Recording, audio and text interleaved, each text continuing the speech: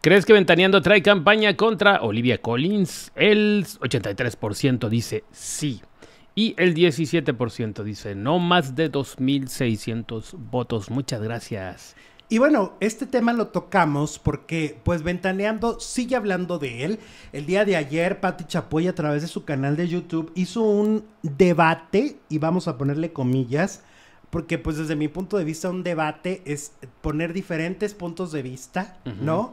Y ahora sí que con, eh, eh, a lo mejor hasta la parte involucrada puede entrar en un debate también. Olivia faltó ahí. Ajá. Podría estar ahí, o, su hija, o, o alguien que, que, tenga la postura hacia ellas, porque había cinco personas.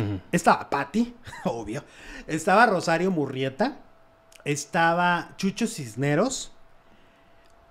Y Mónica Castañeda. Me paro ahí, ahorita menciona a otra persona, pero me paro ahí porque los mencionados alrededor de Patti, eso, eh, a ellos los que estoy diciendo han sido empleados de Patti Chapoy.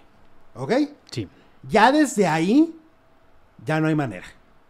Pues ya sabes hacia dónde va la tendencia. Es la jefa. Obvio. Si la jefa dice, esto es verde, eso, va a ser un verde. Debate. Y la otra periodista que estaba ahí, que no ha trabajado con Patty, pero que también estaba del lado de Patty, era Lupita Reyes. Entonces, es, tenías a cuatro personas a tu alrededor que piensan exactamente como tú, y entonces esto no se puede llamar un debate. Pónganle otro nombre, porque debate no es. Nunca debatieron, nunca, nunca hubo una contraparte, nunca hubo una opinión distinta. La opinión que se quiso poner ahí es la que es la de la señora Pati Chapoy, que está bien, pues para eso tiene su espacio, para decir lo que le dé la gana. Nomás que pues no le pongan debate. ¿No? Porque no hubo debate. Exacto. Y luego, por otro lado, pues ella en Ventaneando, ¿te acuerdas que había amenazado? Porque eso fue amenaza decir que va a sacarle los trapos sucios a Olivia Collins, ¿no? Sí. O al, o al ex marido. Que viéndolo ya en la distancia y viéndolo fríamente, qué feo. Pues si Olivia Collins nomás iba al funeral, digo, se, se le fue la onda, se portó mal lo que quieras, pero terminó con todo su pasado expuesto. Ajá. Nomás por haber ido al funeral de su del hijo de su mejor amiga. Se le terminó diciendo nada que verienta. Sí, de no. Todo. Pues, pues bueno, eh, eh, Pati Chapoy recuerda cuando García Pato, ex marido, que ya murió también el señor, O sea, ahora sí que no se puede defender porque ya se murió. Y entonces este señor aparentemente tuvo una cena privada con Pati Chapoy. Y en esa reunión él le dice que tiene fotos pues íntimas de Olivia, ¿no? Y que pues se, las quieren... Se las va a dar, ¿no? aventaneando en ese momento para que la la, pues, la, hagan pedazos. Porque vamos a hablar del el contexto del... Estamos hablando del 96, 97, por ahí, ¿no? E, entonces el contexto cultural, si ahorita a la mujer se le condena por tantas cosas absurdamente, ¿tú te imaginas en los noventas cómo se hubiera dañado la imagen de Olivia? Tremendamente, ¿no? Que además eh, podían ser imágenes eh, en la intimidad con su marido. ¿Cuál era el problema? ¿No? ¿Cuál era el asunto? Em, yo creo, y lo voy a decir como lo pienso y, con mucho respeto, pero con la contundencia con la que siempre pienso, que esta cuestión de Patty es una venganza absurda. Se entiendo que la situación que vivió Mónica Castañeda no fue la correcta, no fue no fue la reacción correcta de la hija de Olivia. Efectivamente, la hija de Olivia no tiene ni idea de cómo debe manejarse una figura pública. Nunca debió eh, jalonearla, nunca debió tener esta agresión Mónica Castañeda. Pero de ahí a voy a emprender una campaña para desprestigiar a Olivia Collins y le voy a sacar los pocos trapos sucios que pueda yo tener sobre ella, ahí hay una diferencia y creo que no se va. Y aparte de todo, la está victimizando. Sí, porque pues... Sí, porque ahora ya le está sacando cosas que si su marido era esto, que si a las hijas y a todo. Es una venganza ridícula. Pero además ella vivía violencia intrafamiliar. Exacto. Ahí el, el, tipo era el que la quería dañar, el ex esposo.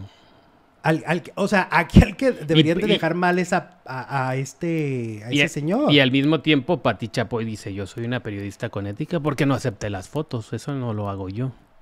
Pero yo creo que tendría más ética que ni siquiera lo mencionara, ¿no? Obviamente, obviamente. No, no, no debería de, ni siquiera de ser mencionado. Ella siempre lo ha dicho y lo ha repetido hasta el cansancio. Vale más por lo que calla que por lo que dice y ahora ya está hablando. Y aquí le está ganando la víscera. Entiendo que le tocaron a la niña, le tocaron a pues la sí, pero había maneras más inteligentes de defender a la niña. Pues sí, así como Olivia no reaccionó correcto gritándole, es mi hija. Tampoco Pati Chapoy lo está haciendo bien al decirle, es mi corazón. Pero fíjate, Olivia hizo... Para mí lo único que hizo es defender a su hija. Y, ahora la que ha quedado como una dama es Olivia, porque desde ese momento no ha dicho absolutamente nada. Absolutamente nada. Pues sí. Y tenemos que ser justos porque ahorita empiezan a decirnos, ay, ustedes la traen contra Ventaneando. A ver, Ventaneando es un programa que está expuesto todos los días, de lunes a viernes, en la pantalla mexicana. Mientras ellos estén ahí, también están expuestos como nosotros estamos expuestos. Pero no es que lo traigamos, es que ellos se pusieron en un tema delicado, ¿no? Es que ellos están poniendo en la mesa un tema de si se vale o no se vale lo que le están haciendo a Olivia Collins. Porque estamos hablando de una mujer que sufrió violencia intrafamiliar, que, que regresó con el marido porque se le amenazó que si no, nunca iba a volver a ver a sus hijas, ¿no? Que sufrió maltrato psicológico, que sufrió amenazas, humillaciones públicas. Todos recordamos cuando García Pato fue al programa de Cristina Saralegui a decir cosas espantosas de, de Olivia. Entonces, ¿cómo la revictimiza? Porque aunque esto haya sucedido en 1997, lo que no le ha quedado claro a Patti Chapoy es que está hablando de una mujer violentada.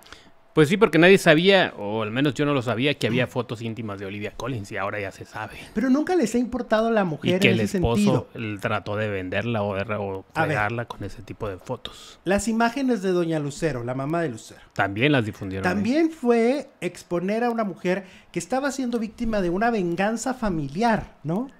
O sea, un ex, este, ex hijastro de la señora Lucero León va y saca de la casa de su papá, saca esos videos que luego publican ellos, ¿no? En Ventaneando. Y también esta señora fue víctima en su momento, ¿no? Y entonces, ¿por qué doña Lucero sí y Olivia Collins no? ¿En qué, cómo miden? Porque les caía mal. ¿Quién sí y qué exacto? ¿Cómo miden quién sí y quién no? A ella sí le saco, a ella no. Ajá. En ese momento. Ahora el debate debería de ser eh, ¿Qué piensas del periodismo de venganza? Pues sí. Que sí existe, aunque no existen los libros, no existen los términos, pero existen, eh, ahí estamos viéndolo. Pues pregúntale a Patti. Ajá. Todo esto de sacar cosas del pasado de Olivia es periodismo de venganza por lo que le hicieron a Mónica Castañeda. Ahora, la nota tendría que ser la nota del día, punto. Ese día hubo un enfrentamiento entre Mónica Castañeda y Olivia Collins y su hija. Ok, y ya, vamos a lo que sigue, ¿no? Vamos a lo que sigue, pero no. Aquí ellos están alargando el tema, van a decir, ay, ustedes también. Pues sí, porque ellos lo hicieron primero. Estamos analizando lo que está pasando en la televisión. O sea, en la televisión abierta mexicana estamos viendo que a una mujer se le está revictimizando, que fue víctima de, de su marido, que aunque estaba casada con él, eso es violencia, ¿no? Fue víctima de su marido y hoy es víctima de las palabras de una periodista en la televisión. Perdón. Así son las cosas, eh, así, eh, o sea, aquí se le está haciendo un daño a la imagen de Olivia y, siento que es inmerecido.